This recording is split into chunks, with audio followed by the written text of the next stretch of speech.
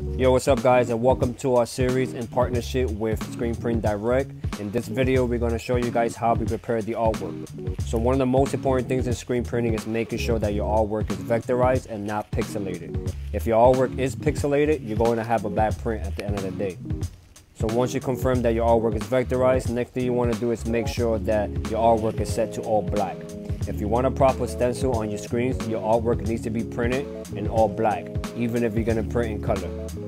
So once it's vectorized and set to black, you can send it off to the printer. Now we're using a Canon Pro 100, so these settings may be different for you. So once you're in the dialog box, make sure you go to your preferences for your printer, set the type to premium and the quality to standard or high. Once you have that set, hit OK. And the last step you want to do is make sure that the media size is the correct size of your transparency, which in this case, we're going to be printing on a 13 by 19. Once you have that set, click on print. Then when your printer is done printing out your transparency sheet, what you want to do is grab that film and put it up to the light.